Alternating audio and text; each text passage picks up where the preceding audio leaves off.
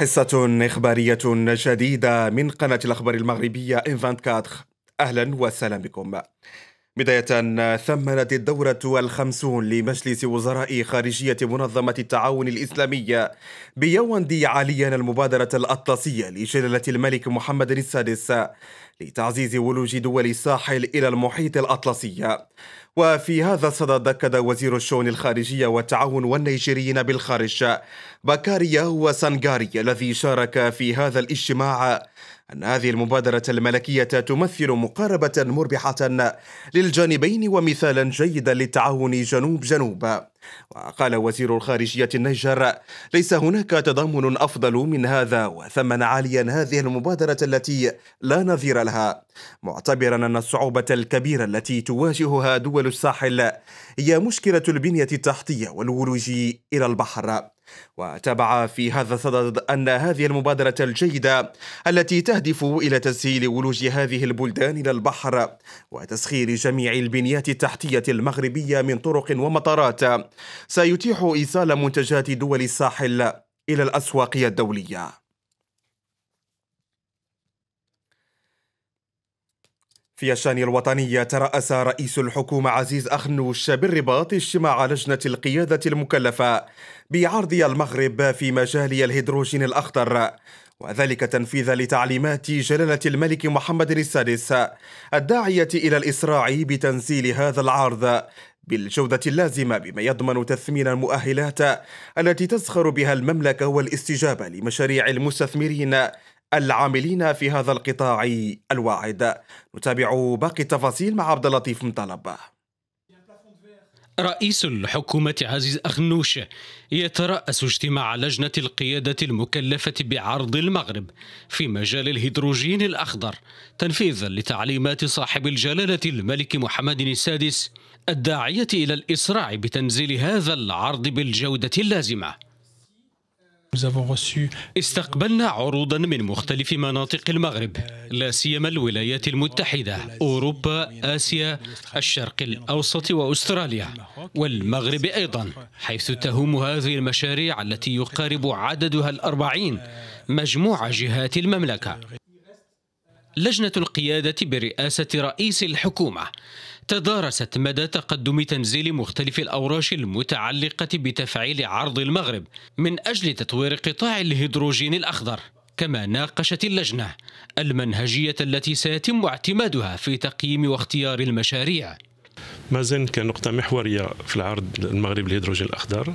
قامت بتطوير منصة إلكترونية اللي حطتها آه، تحت تصرف المستثمرين واللي آه، الآن وصلنا أكثر من 40 عرض من مستثمرين مغاربة وأجنبيين. والنقطة الإيجابية هي أن جل المناطق المغربية من الشمال للجنوب حظوا بالاهتمام ديال المستثمرين. وتماشيا مع التعليمات الملكية السامية. تم تحديد عقارات عمومية مهمة لتحفيز ومواكبة حاملي المشاريع. عقارات تناهز مساحتها مليون هكتار مع حرص الدولة في إطار تعاقدي على حماية وضمان حسن استخدام الوعاء العقاري العمومي. بالرباط أكد المندوب السامي للتخطيط أحمد الحليمي علمي أن الإحصاء العام للسكان والسكن يعد عملية ذات طابع استراتيجي من شأنها إعطاء صورة حقيقية حول السكان والسكنى شيماء باكا في المتابعة.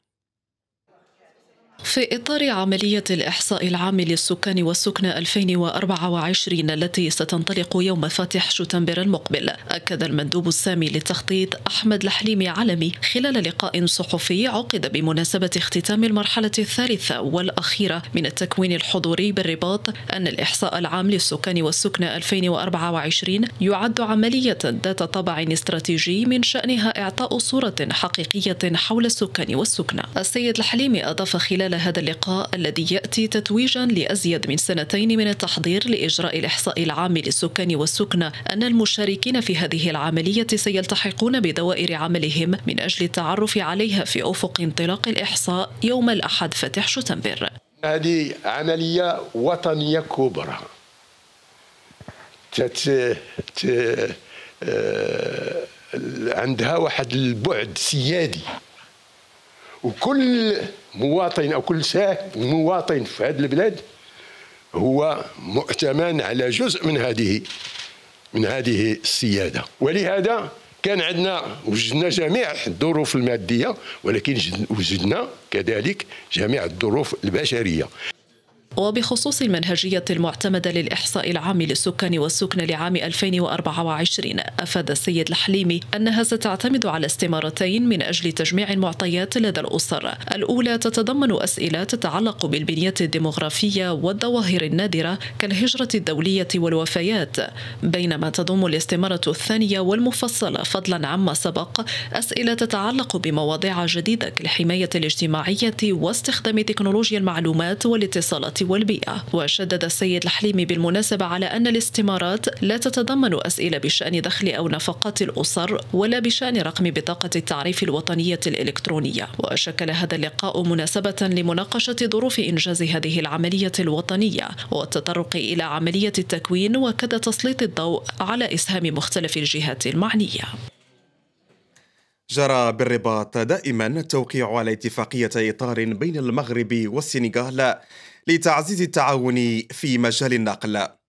جاء ذلك خلال اجتماع عمل عقده وزير النقل واللوجستيك محمد عبد الجليل مع الوزير السنغالي للبنيات التحتية والنقل البري والجوي مالك نداياي الذي كان مرفوقا بسفيرة السنغال بالرباط وبوفد رفيع المستوى من بلادها عبد اللطيف بن طالب والتفاصيل.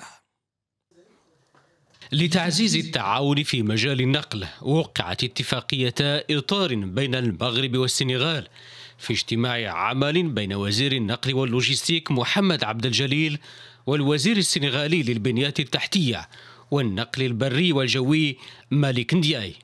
اتفاقيتان تتعلق بالتكوين المهني بين شركة السكك الحديدية السنغالية والسكك والسكك الحديدية الجهوية لمدينة دكار ومع المكتب الوطني للسكك الحديديه المغربي بهدف تكوين الأطر السنغالية في هذا المجال كما اتفقنا على أن نعمل على تعزيز آه، التعاون الثنائي. اتفاقية وحدة كتخص اتفاقية مع معهد التكوين السكك الحديدية واللي كيخص التكوين ديال السككيين السنغاليين هذه من جهة. ومن جهة أخرى اتفاقية الشراكه فيما يخص أننا نتقاسموا التجربه المغربية فيما يخص تدبير ديال المشاريع.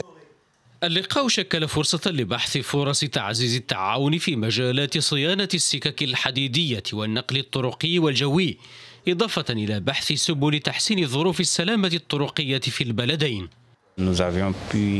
هذا اللقاء كان فرصة للوقوف عند الإنجازات النوعية للمملكة من حيث التنقل الحضري وبين المناطق الحضرية لا سيما في قطاع السكك الحديدية. وهذه الزيارة مكنتنا أيضا من التعرف على الممارسات الفضلى والخبرة المغربية الرائدة في هذا المجال.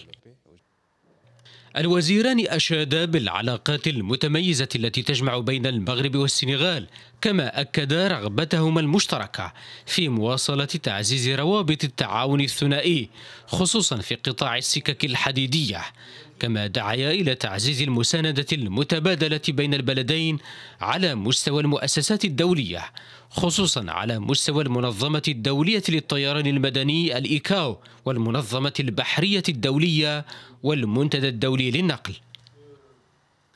وفي خبر آخر ركزت وزيرة البيئة والتنمية المستدامة بحوض الكونغو بجمهورية الكونغو أرليت سودان نولت الأمينة التنفيذية للجنة المناخ لحوض الكونغو.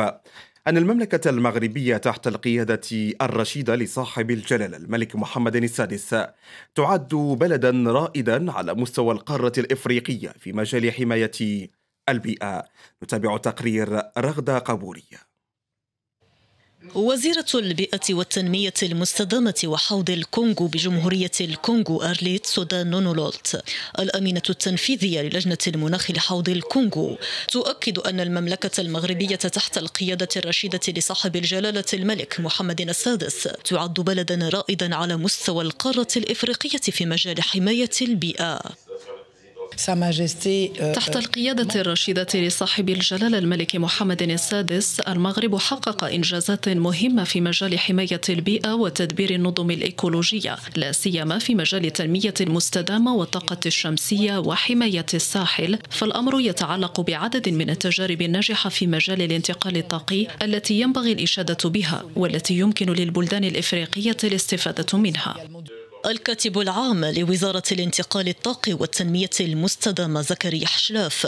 بالمناسبة قال إن المملكة انخرطت مبكرا وبشكل استباقي في دينامية التحول المناخي من خلال إطلاق مبادرات تهدف إلى الانتقال بنجاح إلى اقتصاد أخضر ومرن ومنخفض الكربون بحلول سنة 2030 زيارة الوزيرة الكونغولية للمملكة تأتي في إطار مهمة رسمية تقوم بها بالدول الأعضاء بلجنة المناخ لحوض الكونغو وهي إحدى لجان المناخ الإفريقية الثلاث التي تم إنشاؤها خلال القمة الإفريقية الأولى للعمل من أجل الاندماج القاري المشترك التي انعقدت بمبادرة من جلالة الملك محمد السادس على هامش مؤتمر الأطراف الثاني والعشرين بمراكش.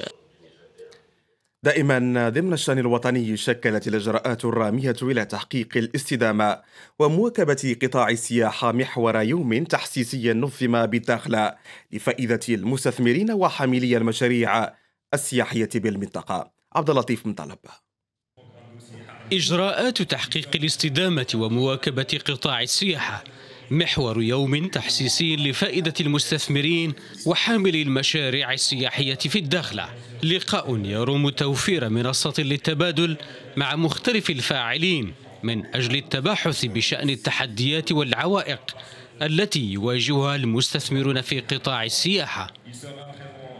قمنا آه، بشرح آه، برنامج جو سياحة التي الذي يقوم به آه، مكلف مغرب المقاولات الصغرى والمتوسطة يقوم بشرح هذا البرنامج هذا اللي هو ذات أهمية كبرى.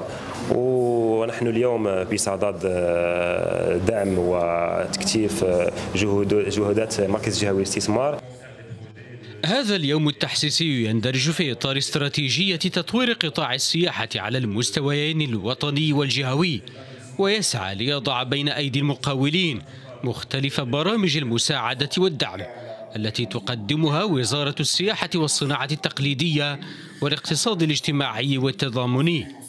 هو مؤتمر تحسيسي آه، مهم بزاف. آه، كيتكلم على واحد البرنامج اللي كيتسمى جو السياحة اللي آه، الدولة كتعاون فيه المستثمرين والمستثمرين واللي عندهم déjà projet en cours وكذلك الناس اللي déjà كيخدموا في في هذا النطاق ديال السياحة. هذا الدعم اللي اللي ذكرت الوزارة على إنها تعطي للقطاع اللي يساعد في إقلاع وتقويه القطاع والمنتوج السياحي في الجهة.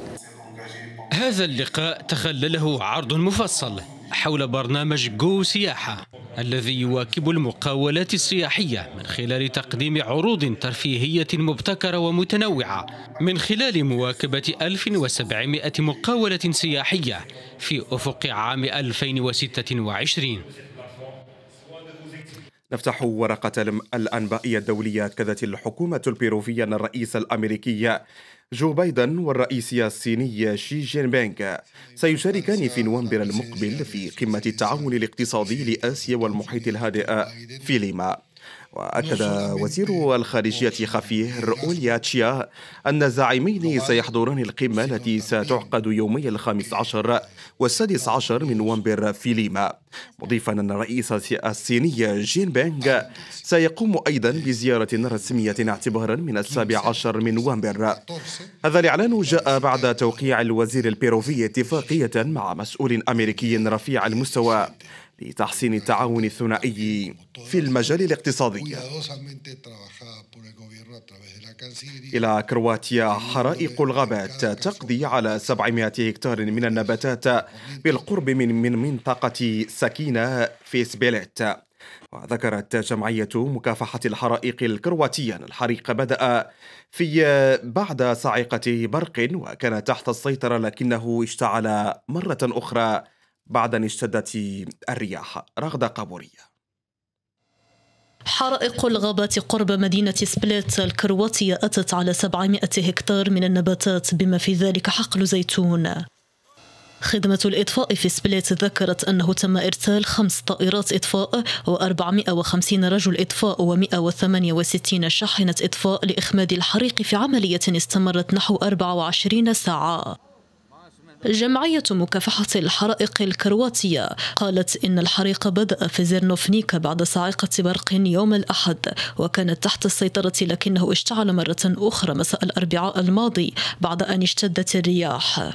وقال خبراء إن المنطقة شهدت درجات حرارة أعلى من المتوسط وظروف جفاف خلال الشهر الماضي وكان سببا إضافيا لاندلاع حرائق الغابات. وتحذر السلطات من احتمال اندلاع حرائق جديدة بسبب الظروف الجوية غير المواتية بما في ذلك الجفاف والرياح. دوليا دائما استمرت الأمطار الغزيرة في الهطول على أجزاء كبيرة من اليابان صباح اليوم بعد أن وصل الإعصار شانستان أمس الشيء الذي شل خدمات القطارات والرحلات الجوية في بعض المناطق وأدى إلى انقطاع التيار الكهربائي. عن بعض المساكن. السلطات اليابانية قالت إن الإعصار قد يكون أحد أقوى العواصف التي تضرب المنطقة على الإطلاق. هذا وقد لقي ثلاثة أشخاص مصرعهم وأصيب أربعون آخرون جراء الأمطار الغزيرة والانهيارات الأرضية الناجمة عن الإعصار المدمر في حصيلة لا تزال أولية. وكالة الأرصاد الجوية اليابانية كانت قد أصدرت تحذيرا طارئا لمنطقة كاغوشيما بسبب إعصار شانستان وأعلنت أن سرعة الإعصار تقدر ب 250 كيلومترا في الساعة. دائما ضمن أخبار الكوارث أدت الأمطار الموسمية الغزيرة والفيضانات في ولاية جوجارات الهندية خلال الأيام الثلاثة الماضية إلى مقتل 28 شخصا على الأقل غرقا أو بسبب سقوط الأشجار. رغدة قبوري توافينا بباقي التفاصيل. الأمطار الموسمية الغزيرة والفيضانات في ولاية جوجارات الهندية أدت خلال الأيام الثلاثة الماضية إلى مقتل 28 شخصا على الأقل غرقا أو بسبب سقوط الأشجار. هيئة الأرصاد الجوية حذرت من تساقط المزيد من الأمطار الغزيرة في الولاية الساحلية الغربية. فرق الإنقاذ من الكوارث تمكنت من إنقاذ أزيد من 1800 شخص باستخدام قوارب مطاطية وإطارات. الخبراء يشيرون إلى أن التغير المناخي يتسبب بتحولات ويزيد من حدة الظواهر المرتبطة بالطقس. وشهدت ولاية تريبورا شمال شرق الهند فيضانات وانهيارات أرضية الأسبوع الماضي أسفرت عن مقتل أكثر من عشرين شخصاً. وفي بنغلاديش المجاورة أودت الفيضانات بأربعين شخصا على الأقل خلال الفترة ذاتها واضطر نحو 300 ألف من السكان إلى الاحتماء في الملاجئ المقامة لحالات الطوارئ. عودة للشأن الوطني بسمارة تم تنظيم حملة للتوعية والتحسيس بأهمية الحفاظ على الثروة المائية وعدم تعريضها للتلوث وكذا بمخاطر السباحة بالبحيرات. عودة مع رغدة قبوري. حملة تحسيسية للتوعية بأهمية الحفاظ على الثروة المائية وبمخاطر السباحة في البحيرات نظمت بسمارة. المبادرة تهدف إلى توعية السكان ومرتادي هذه الفضاءات الطبيعية بخطورة السباحة في البحيرات. إحنا اليوم جينا بدورنا كمجتمع مدني مع السلطات المحلية لهذه البحيرة باش نديروا نوع من التحسيس لهذه الناس اللي تجي تجي لهذه البحيرة نوع من الترفيه. وبغينا نحافظوا على هذه النعمة اللي عطانا الله تبارك وتعالى باش ما ما نضيعوها. الحملة تنظمها فعالية المجتمع المدني المهتم بالبيئة بتعاون مع السلطات المحلية على إثر التساقطات المطرية الأخيرة. جئنا إلى هذه البحيره من أجل توعية الناس والتحسيس. صادفنا مجموعة من الناس أتوا من أجل الاستجمام قمنا ببعض التوجيهات كزرع الأزبال وعدم السباحة بهذه البحيره من أجل الحفاظ من أجل الحفاظ على هذه المياه من أجل الثروة الحيوانية ومن أجل الكسبات الإقليم. الحملة تروم توعية السكان بالمحافظة على الموارد المائية بعد التساقطات التي عرفها إقليم السمارة لكونها تشكل موردا هاما لتوريد الماشية ومتنفسا طبيعيا للساكنة. وبالشأن الوطني مشاهدينا الكرام نصل إلى نهاية هذا العرض الإخباري. نشكر لكم حسن وطيب المتابعة. أطيب المنى.